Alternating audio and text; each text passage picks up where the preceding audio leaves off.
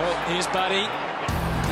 Go with the dish now, not the right side for Lewis. No margin for error at all, but look at the way he brought that up. Buddy Lewis. fantastic shot. Welcome to Inside Melbourne for one last time in 2019. Clint Stanaway with you. Ben Gibson is here too. Hi, Ben. Hey, Clint, good to be back for a special episode. Absolutely special it is because we've got Jordan Lewis as our special guest. The last one of 2019 and the last one as an Ever. AFL player. ever. Does that sound weird? Um, I don't know. Like I- I've sort of tried to pinpoint a moment where it'll feel weird that this is sort of It. the last thing that I do. Um, I mean, Max gave me a standing ovation yesterday for my last bench press. So that was a, a pretty special moment. Um, but yeah, maybe this is the last one that I'll do, which is cool. A lot of uh, media commitments yesterday. How did that all go? I saw the twins running around on the MCG. If you haven't seen the photo, Michael Willson took an absolute perler, a black and white photo of Ollie and Huey in goal square. Yeah, I mean, he just knows how to capture the moment. Even when I was at Hawthorn, we had him in when we had grand final week, and he was just sort of in the background and would capture the most amazing photos. And he had one yesterday of the twins. There was some pigeons on the ground, and I, I don't know who said it to them, but they said, you know, go chase the pigeons, and before you knew it, they're up the other end of the ground. So. Um, their endurance is better than mine. Were you surprised just how quickly they got there? Because you were just taking photos and all of a sudden gone. Absolutely. Yeah, I literally, I think we took three or four photos and looked around, and they were up the other end. So, um, yeah, maybe they got mum's speed as well. It's a good chance to say your thank yous as well. It's been an amazing career. Uh, what was it like sitting there in front of the media, obviously alongside Alistair Clarkson, who you've had so much to do with, and Simon Goodwin, who more recently you've had a lot to do with? yeah, it, it's a funny thing. I I didn't have any notes, which probably stupidly. Uh, I went into the interview with, but I think I, I didn't miss anyone, which is always the It's fear. Um, but yeah, it's. I don't think as a player you get a lot of time to um, recap your career and recap the moments because it, it just moves on. Everything moves on, and win loss you just move on. And it's probably at times like this that you do recap and reconnect, I suppose, with people that you haven't seen for a long period of time. Even after Ruffy's game on the weekend, he had a few beers after that, and you see people that you haven't seen for a period of time, and it's always those moments are nice. So yeah, I think from from now on in, clearly I'll have a lot more time to to do that, and um, the unprofessional lifestyle may allow you to go out for a dinner here and there and have a nice glass of wine. I'm assuming you wouldn't like the fuss too much, but are you enjoying this last week and soaking it up a bit? No, I'm not. To be honest, I yeah, I don't like it. It's um, I just it sits uncomfortable with me. I I enjoy the whole um, team success and and everyone, you know, recognizing um, groups, but not necessarily individuals. I just yeah, I don't know. It's just part of my makeup, I suppose. I yeah, don't feel too comfortable with it. Are you glad you did it? Came to Melbourne? Yeah, I am. And I've always said that if I had the time again, I would make exactly the same decision. Um, I had the same coach for 14 year, 13 years at Hawthorn, and that was great. It provided stability, um, it provided an environment that you're familiar with. But for me, at the latter part of your career, and I, I was never one to seek out change, but when the opportunity provided itself, I you know, I weighed everything up and and I've loved every minute of it. It's been a, a challenging time and um, you know, to enjoy that success that we had last year for the first time in 12 years was such a buzz. Um, and to, you know, to meet new people and lifelong friends.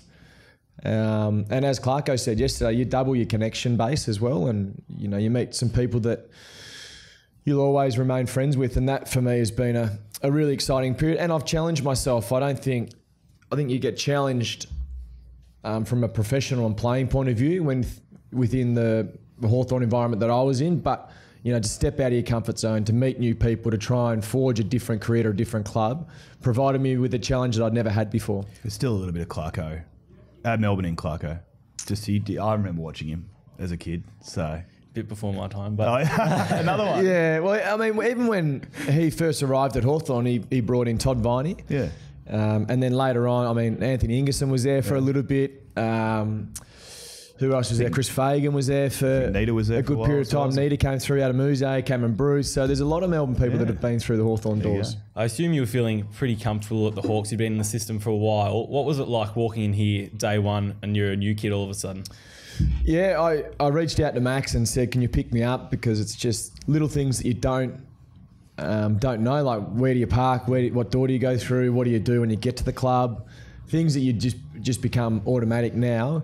Were all really foreign to me, so I wanted to have a little bit of comfortability, knowing that I can just follow him wherever he went at the start. But within within a week, I felt pretty comfortable and um, understood, um, you know, where my where my expertise would be needed. Um, and yeah, from then on in, it's it's been a really good ride. Was it challenging taking on a leadership role in a side when you felt quite new and you're still building relationships? Nah, no, I, I didn't feel that was um, challenging at all. It, it was um, it was right in my sort of niche, to be honest. That's sort of where I um, where I you know feel comfortable, um, and I knew that the leaders knew needed someone that had had experience um, from a successful environment. Um, so that was that was quite easy. What now, Geordie? I know you've been asked countless times, but tell the Melbourne fans what you what you're thinking of doing post match this weekend. Put the feet up, no doubt, for a little bit. Yeah, absolutely. Um, yeah, I'll go to the dark side with you, Clint. Yeah. So, hey, there's um, a lot of light. in there. it's a great place to be. I won't be sitting out in my car at the front of the scanning um, facilities though. But um, yeah, I'll, I'll you know I'm signing out with Fox, so Yeah. I'll um, do them and, and also some SEN work, which would be which would be good. I've enjoyed a little bit of that this year, um, so that's sort of where that lies, and then continue to build my wine brand, which I'm really passionate about. There was a lot of talk that you could potentially go into coaching and stick around with the club. Was there any interest in that at all? Oh, there's there's interest in it, and there's I don't think that'll die off. Um, but I, I just think, you know, just to put a a full stop on the the day to day, you know, grind of being a professional athlete, thinking about football. I thought I needed a bit of a break, and my family needed a bit of a break from that. So, yeah, the season next year will be full on. But I think between now and then, I can really, you know, sit back and just enjoy some quiet time and not have to think about the decisions you're making on a daily basis. How do you think that'll be all of a sudden on Sunday? You're not an AFL footballer, you don't have to come to the club every day. It's going to be a weird feeling waking up. Oh, it is, and and every, I mean, every decision I've made for the last 15 years, you consciously think about how will that impact me and how will that impact the club. So when you don't have that responsibility, you're not going to go out and, and misbehave, Yeah. but it is that sense of freedom, and I, and I suppose that sense of of being an adult again to make your own decisions and your own consequences. How do the family feel about the whole decision, Lucy and the kids? Um, the tw- twins probably a bit young to appreciate it, but Freddie, Yeah, Freddie won't be too happy. Um, you know, to come in, just little stuff. The he kids, loves it around here, doesn't he? Loves it. And the kids probably don't realise who are involved in football clubs, you know, to go down to the rooms and just muck around with, you know, my mates, but are, but are heroes to little kids, has been a really fortunate thing that Freddie's been able to enjoy that this year. And yeah, that, that'll certainly go missing. So maybe the old boy will pull on the boots at a country footy team just to keep that, you know, that Bit of extra alive cash for him. coming through. That's Freddie must be getting used to playing on the G too. Had a run around on Friday night and again yesterday. He must enjoy that. Yeah, and he was filthy. He couldn't come on 360 last night. He wanted to, a little bit more screen time. So um, he'll he'll learn. He'll, he'll get his day in the sun. when you do look back, what's what stands out? Obviously, the premierships are really special. Is there is there a moment? Um, I think it's I think it's the journey. I, I think um, you know I was even walking off the track today and I ran into Craig Bellamy and he said what what will you miss and I miss I miss the training aspect. I every single training session that I've gone out I've really loved and I love the competitiveness of it and I love there's it's up to you whether you train well or not. There's no media there. There's no coaches riding your hard. It's it's really up to you, and I've enjoyed that challenge. So I'll certainly miss miss that. I won't miss, um, you know, after a loss or or anything like that. That there's always hard to deal with. Um, but yeah, I'll certainly miss coming to an environment where there is 50 guys that are professional athletes um, working hard, but then also enjoying a good time as well. Um, and you don't really need to have a high level of communication outside of the club because you know that tomorrow you'll see them again. So that that you'll miss. It's been a tough old year, fair to say, here at the Melbourne Footy Club. But do you think? How do you think the club is is placed, looking into the future, long term? Yeah, I I truly believe that they're they're placed really well, and you know this year, for a variety of reasons, hasn't gone well. But um, I just remember my experiences, and we, we had similar times at Hawthorn in a period after a grand final, and you just learn learn so much. And you know the boys who are who are around next year and and come back to preseason, I've got no doubt their attitude when they come back this preseason compared to last preseason will be completely different because you don't know what you don't know, and you just think after a successful year it's just going to happen again. And what I did the previous year is is going to hold me in good stead. And I think everyone's found out from a, a tactical coaching point of view, from an athlete point of view, that that's just not the case. You've been a part of success, obviously. Can you see sim- similarities between Melbourne and Hawthorn and where we could be heading? Yeah, I think so. I think, you know, we're we're really at a crossroads now, and, and it's up to, to individuals and um, and the playing group is which way do you want to go, and you've got to make some really harsh decisions, and you know, you you got to come back to the preseason with a mindset of last year was really really hard to deal with, and we don't want to be back there again, and especially not year after year. So they need to come back with a, a really steely mindset um, and understanding that that it won't just happen. Inside Melbourne, thanks to Zurich, Jordan Lewis, our special guest. Questions from the outer after this short break. Thanks to our co-major partner and podcast sponsor, Zurich. For over 100 years, they've been ensuring the people and the things you truly love. And just like you, they truly love footy and they truly love Melbourne. Welcome back to Inside Melbourne, brought to you by Zurich. Questions from the outer, starting off with one from Jake Lever. Do you think that you are the best player ever at getting free stuff? Um, I've used my networks well. Where? What is he talking about? Where is that coming in into play? Oh, what do you want? Some uh, some gear, do you reckon? new or- shoes. Oh, I I mean, I've been pretty fortunate to have really good sponsors that have stuck with me for a long period of time. But um, yeah, if you be nice to people and you keep in contact with people, They look after you. they look It after continues you. in the media as well. Yeah, Every now and then. yeah. So don't worry about that. Yeah, mate. so um, we'll um, look after you. Stitched you right up there. Another one from a teammate, Corey Maynard, wants to know why are you taking all of my retirement shine? you got to play a game to announce your retirement. Uh, this is an interesting one. Anna Hume she says her, her mum ran into you in recent weeks. What's the strangest encounter you've had with a fan away from the club? Her mum, hang on, her mum ran into you at Malvern Regal Sleep Solutions. All right, yeah, they're one of my sponsors. Um, oh, strangest. I'm guessing a few people would come across you in public and not bug you, but let you know that they're a fan. A few. I, I mean, there's countless people that you know they're looking at you and talking about you, but it's very rare they come up and um, have conversations. They just think they know you. Yeah, yeah. I mean, Yeah, if you go to a pub and and someone's had a few beers, they certainly are a little bit more confident. Yeah. But yeah, I I don't think I've had none that really stick out. We've spoken about the wine um, in previous podcasts. I think the last two we've got into some pretty heavy conversations about the beautiful blends that you're uh, offering. Uh, one of our members wants to know if there'll be a 20% discount off all wines for Melbourne members. Okay, I could look into that, but it's always hard because we've got the great Tyrrells on board Melbourne, so great wine. You can't compete with them. Uh, Lauren Crump wants to know what the biggest difference has been at Melbourne as opposed to Hawthorn. Um, uh, I suppose I suppose experience at the moment. I mean, we put out a side on the weekend with an average game of 65, so you know we sort of lacked experience. Um, Hawthorn is a nearly the oldest list at the club, so I mean, there's there's similarities in a sense that Hawthorn, when we first got there, were um, you know we're trying to find a way and and trying to work out how to win and all that type of stuff. So Melbourne certainly found that last year, but now they're in a position where Hawthorn were in sort of 2009, 2010, where they need to ramp things up and rediscover that. A bit more fun here. Mick Hawksworth wants to know what's harder, having two first names or making eye contact with Max Gawn. two first names. Jordan and Lewis, I guess. You spell Lewis differently, don't you? Well, I don't know. If you're calling your son or daughter That'd be Lewis Lil- L-E-W-I-S for be their first Lily, I name. guess. Um, what was the second part of the question? Making eye contact with Maxi. Freddie loves Maxi, doesn't he? Yeah, yeah, yeah. It's. Obsessed. Uh, he needs to get his teeth done, but Uh, who is the funniest team member you've ever met from uh, EK's one? uh, I like Brad Hill's humour. Yeah.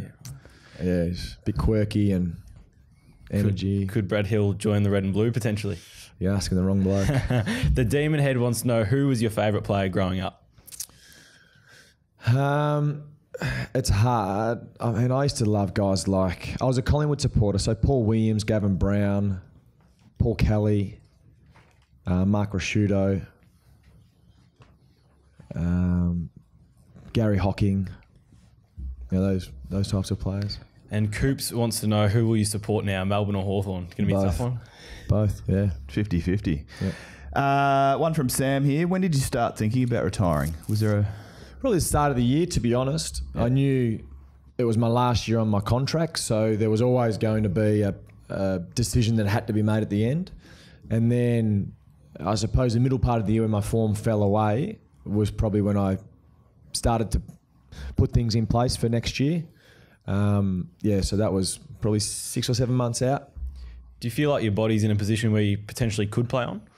Yeah, yeah, it's um, I've been pretty fortunate, which has been good. So, you know, I leave the game still being able to exercise, so it's it's nice. You know, I won't be limping around like a lot of the coaches do here. That's good news. That's where the country cashies come in. yeah, yeah, yeah. I, I don't think I'll ever be that person. I just being a country boy, I just it'd rip your heart out. Uh, someone wants to know what was your favourite game? Does one stand out from all 318? Is it a premiership? Is it a final? A personal moment? I've always said um, the 2013 prelim final against Geelong, purely for the fact that they just had beaten us, I think, 11 times in a row post 2008. And we were down at 22 points at three quarter time. We came back and won, and that was for me just the the greatest game that I've been a part of. In terms of in red and blue, uh, the semi final last year would have been a bit of fun against your old mob. Yeah, that, that was good. I mean, final, so Geelong final and, and against Hawthorn were were unbelievable. They were just enjoyable, Yeah, enjoyable were just- fortnight, wasn't it? Yeah, and even the West Coast game over there to put ourselves guaranteed finals. That was yeah, they're they're great games. Could you feel sort of the nerves on that day? Like an amazing atmosphere at that place. People that haven't been there won't quite understand. But what was it like out in the middle? Yeah, I mean you can see I've got goosebumps now when you just you think about it. It was it's extraordinary because at a point in the game you, you scan to the crowd and you can just see the excitement, the the relief, the emotions that they go through. As a player, you don't really have too many emotions, but fans clearly have emotions uh, because they can't sort of impact on the ground. So that was yeah, that was pretty They memorable. were queuing up from about, oh, I don't know, early morning, in the EMCC anyway, and just to turn out as you guys ran out for the warm up and Yeah. to see it almost full Yeah. and full of red. Oh blue. yeah, it's, it's, it gives you goosebumps, and that's yeah, that's why you play. It's Yeah. um, and that's you know every big game. I'll al- I'll always drive around the MCG just to see people lining up at the MCC, see the fans arriving at the game, and it gives you a sense of what the game's about. Um, because as players, you literally drive, turn left to Brunton Avenue, go down to the car park, and you don't experience that. Yeah. So I think it's always important to always remind yourself that you know there's a whole different atmosphere Are you looking forward to, I guess, getting the opportunity to sit in the crowd and soak it up from the other side of the fence at some stage? Yeah, and have a beer at the footy. Yeah, it'd be it'd be nice. I haven't. I mean, I can't remember, bar maybe a grand final, that I've gone to the footy and had a beer and just sat back and enjoyed it. It just hasn't happened for 15 or 16 years, so it'd be nice. I'm quite experienced in that. Yeah, I could tell well, you. I did see you when we played Brisbane maybe last Oh, yeah, year. that was a- yeah. that bar. Yeah, behind the goal. I might have to pencil myself in for that. Hey, I could tell you it was a very good, it was a very good afternoon. hey, that wraps us up. You got any last ones for, for Geordie I before we go? the fans have just about covered it all. It's, Well, uh, uh, just to finish on, uh, when you spoke to the players, what what advice did you have for them heading into, well, the pre-season ahead in 2020, season 2020? It was a little bit of what I touched on before. Is you, you have to come back with a different mindset and a different attitude because we you saw what happened and, and we had a lot of preseason surgeries last year. Um, that's that's part of it, but I think also the mindset you come back and you have to improve and you have to be hard on each other and you have to train well because what happens in day one of pre-season can impact the way that you play during the season. So that was sort of my advice. Well, on behalf of the um, the membership base, uh, supporters out there, congratulations on what's been a sensational career. Thank and, you. And thanks for getting into the red and blue as well. I'm, I'm sure on behalf of everyone, they would agree that um, you've been an amazing acquisition. Your leadership, um, for one, has been tremendous. I've enjoyed it. It's been good fun. Benny, thanks to you too. Thank you. Thanks, Geordie. Pleasure. And we'll catch you in 2020 on Inside Melbourne with Thanks to Zurich.